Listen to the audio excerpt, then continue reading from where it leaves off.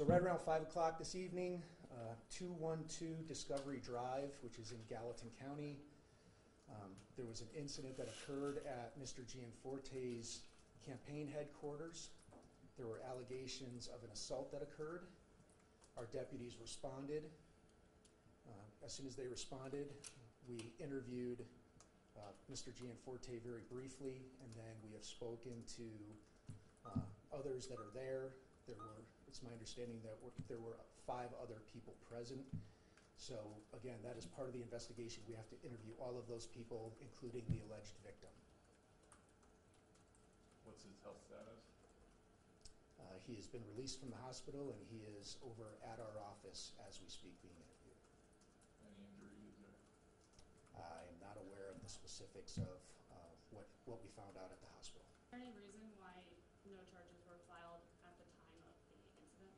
Because we did not have all the information at that time.